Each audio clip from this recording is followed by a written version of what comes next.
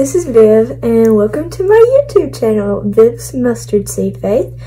And today I'm going to share my testimony, which I've not done a lot, so enjoy. I hope, you know, God can show you something from this. Um, a little bit about me, you know, good Christian family, good Christian parents, um, always grew up in church.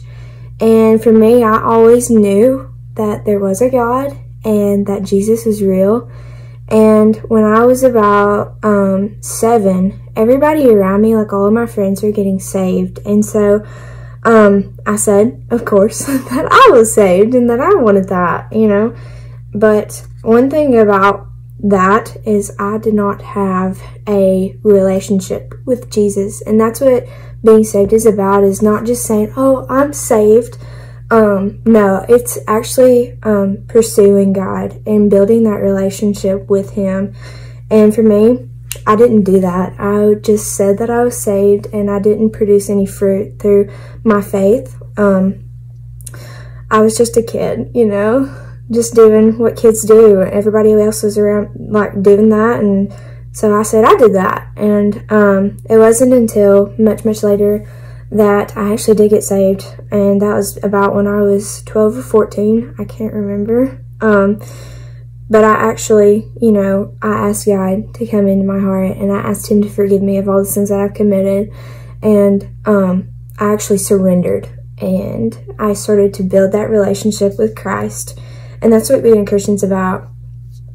And um, for me, um, it wasn't always perfect. My life was not perfect. Um, I'm not perfect, obviously, anybody that knows me. Um, I'm a goofball and I love life and I play golf here and I'm involved in like young life and different things and I have amazing friends here. Um, and I really think that my testimony can help a lot of people because throughout my life, I've dealt with anxiety and depression and that's what I'm going to kind of get into is, um, my freshman year of high school, I just kind of said, God, I've got this. Just step back. Let me be in control. I can do it. That was a big mistake, obviously. Um, and I just kind of started leaning on myself to get myself through and what I could do for myself. And I had a big plan for my life. I was going to be a nurse and all this. And, you know, it was kind of like God was just sitting back and saying, if only you knew, child. If only you knew what I had in store for you. If you would just let me guide you and take over, you would just, you would see. And I did not want to relinquish that control. And so one thing that Satan really used to get me down was anxiety and depression. And, you know, you hear those words and you're like, oh, anxiety and depression. Ah. But little do you know that a lot of people of all ages deal with these things. And for me, anxiety was a huge thing. Um, I was constantly really anxious about everything, like fearing what was going to happen, things that were out of my control. I was a control freak, kind of still am, just a little bit. Um, and, you know, I let that run wild and I didn't, you know, hand that to God. I didn't leave it at the cross. And Satan really used that to steal a lot of God's glory or try to. And um, I, you know, I kind of distanced myself from a lot of people in high school and um, I went through a period in my freshman year where I was just so low and everything was so dark in my life and it wasn't anything my parents did or my friends or anything like that. It was just something that God had in his plan to build me into the Christian woman that I am today.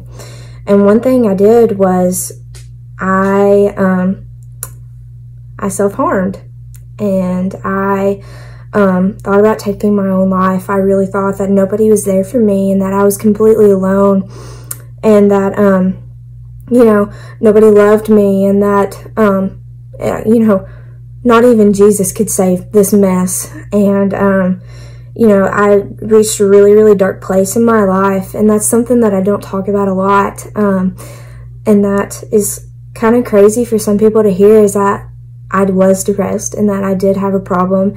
And like, it's absolutely insane how much God has turned my life around and how happy I am now and the joy that I have in my heart because of Christ. And that's something so amazing to look back and see that I was once so far away from God and that I was running so far from Him and that I did not want to let anybody know how broken I was. He didn't care. He still chose me every day. And no matter what the lies I was believing and what lies I was telling myself, his truth and his mercy still reigned over me and my life and he had such a good plan for me and um you know i found my identity in a lot of different things and identity you know struggles i can go a lot on that um but you know once i realized or once god had showed me where my life had gone and where he could take me it was a matter of surrendering again and um one verse that absolutely speaks truth over my life is Psalm 61, 1 and 2, and it says, Hear my cry, O God, attend to my prayer. From the end of the earth I will cry to you. When my heart is overwhelmed, lead me to the rock that is higher than I.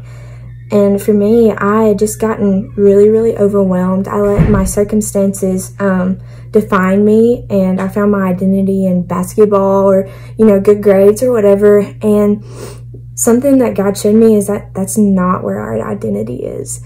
Um, he is our identity. He's the one that calls us beautiful child, you know.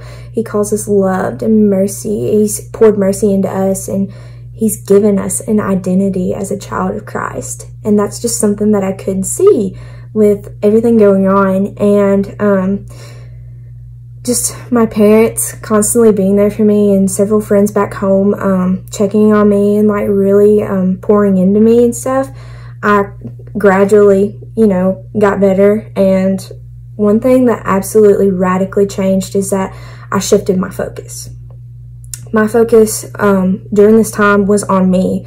Poor me, ah, yada, yada, yada, nobody loves me you know, the whole works and just believing that I was alone and it was shifting my focus back where it needed to be, which was on Christ.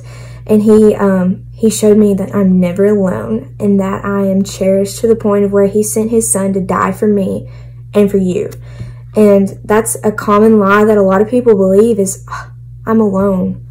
And one thing that I can't, I of constantly said was, I'm so lonely, God. I'm so lonely. And it was just kind of like, God is saying, I miss you too, Viv. I really, really missed you. And so, you know, he was constantly working in my life. And there's several verses that, um, you know, he, he really used to shape me into who I am and to really build up, um, my faith. And another one was in Psalms and it was Psalm 64, 4. And it says, I sought the Lord and he heard me and he delivered me from all of my fears. And that's just amazing. That is so cool that I was searching so hard for something and God was there the whole time. And the moment I started searching for Him, He was there. I didn't have to fight to find Him. I didn't have to, you know, give up something. no, He was there. I sought the Lord and he heard me and he delivered me from all of my fears and that is exactly what happened you know um, he took that anxiety and that depression and he used it as a part of my testimony to talk about to people and to let them know that they're not alone that you know they're so loved and so cherished and there's several other verses um, that he just constantly you know reminded me of and constantly um, poured into me and, you know, kept speaking over me. And um, another one was in Psalm, and it was in Psalm 94, 19. It said, In the multitude of my anxieties within me, your comforts delight my soul. And that's the coolest thing about anxiety is that the only cure, the only way to get better through Jesus. And he gives us a peace and a comfort in knowing him. And yeah, we're human. All of us struggle.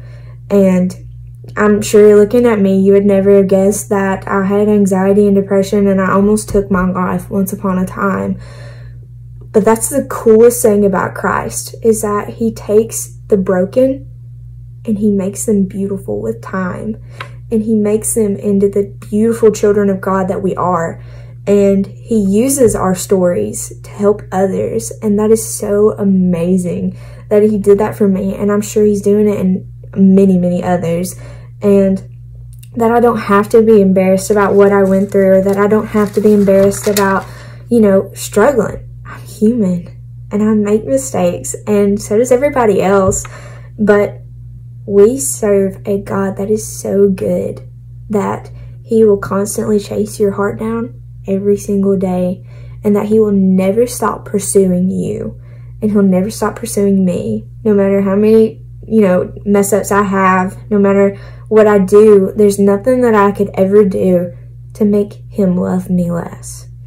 And for me i mean that changed my life. I mean like it was just amazing and isaiah 41 10 says fear not for i am with you be not dismayed, for I am your God. I will strengthen you, yes. I will help you. I will uphold you with my righteous right hand. Um, if you call on him, if you seek him, he's there. He's there to help you. He wants to be a part of your life and he wants to lift you out of this darkness that you're in and bring you into the light. And you can find comfort in him and nothing that you've done in your past can't be forgiven. I mean, he sent his perfect son to die for you and all of your sins. The sins in secret, the sins, I mean, that everybody has. He loves you regardless. And that he forgives you and he casts those sins as far as the east is from the west. And he loves you so unconditionally. And there's so many verses in the Bible that I would want to talk about, but one thing that I do want to talk about is identities. And um, like I said, I found my identity in a lot of different things that just weren't right, um, earthly things. And he constantly showed me that I'm forgiven, I am created, I am purposed, I am holy, I am loved, I am alive, I am free. And that those sins that I had carried, I'll get to leave them at the cross every day I don't have to carry that weight because he sent his son to die for me. And I mean, like, that's just so amazing. And that everybody has that opportunity to lay their sins down and to be new and be renewed in Christ. All you have to do is just choose him. Um, thank you for watching. Bye.